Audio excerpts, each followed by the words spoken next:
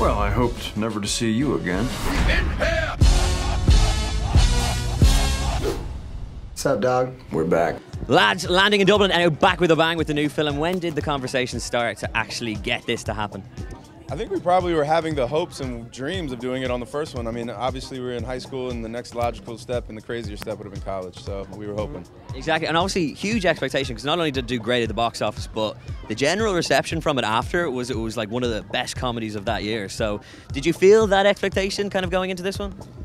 Well, in the first one, we really tried to make fun of ourselves for turning a TV show into a film. Yeah.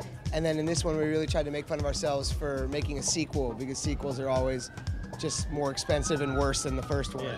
So, You don't even just make fun of yourselves; you literally go even further than that in that. Obviously, the last sequence, but we can't talk about that because it is very, very special. Let's talk the stunts because obviously, even the the start of uh, the film just it kicks straight in. Were you involved in those stunts, or uh, how involved did you want to be in those stunts? I think that's more Chan's territory than mine. How far did he get? Go on, tell me. No, he actually did. He did a lot, but uh, but he th- he finds it funnier to like watch other people hurt themselves and then laugh at them than. Yeah. than- I just think it's, I don't know. From the first movie, right away, we decided that it's funnier for my character to just completely mess up any um, physical challenge. Which in hindsight, I probably should have done because Yeah. my body would hurt a lot less, and uh, I would have had to work a lot less hard. You'll know for the next film, definitely. Uh, recapturing, I guess, that relationship that you guys had in the first film, because obviously that's how the comedy works. Does that come instantly when you get back on set, or do you have to kind of go on a few nights out and kind of recapture it through that? No, I mean Jonah and I have been friends like since you know since the first one ended, and, and so it's not really hard to pick up where you left started. So you weren't friends on set? Is that what you're saying? it sounds like we hated each other all through the first one. Pretty much, you know, that's yeah, that's true. That's, that's about right. What? No?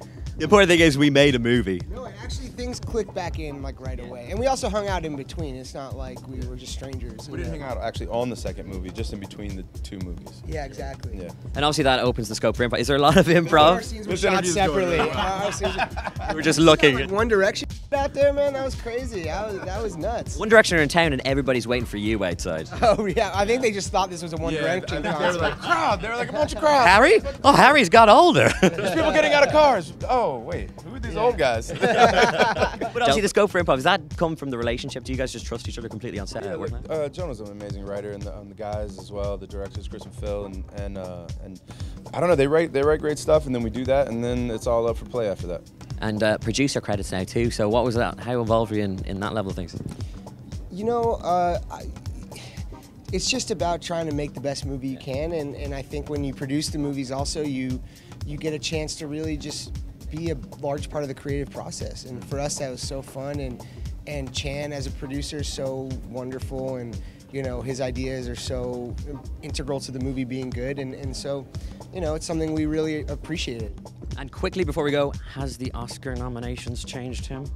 Not at all, not at all, man. He's he, he he's he's a monster now. He, he doesn't get. I was a promoted monster straight- before. And you'll be a monster forever. Thank you so much, guys. Appreciate it. Cheers. Enjoy Absolutely Dublin. not. Yeah, cheers. cheers. All right. We Jump Street, and we're about to jump in your ass. Mm-hmm. right in the crack.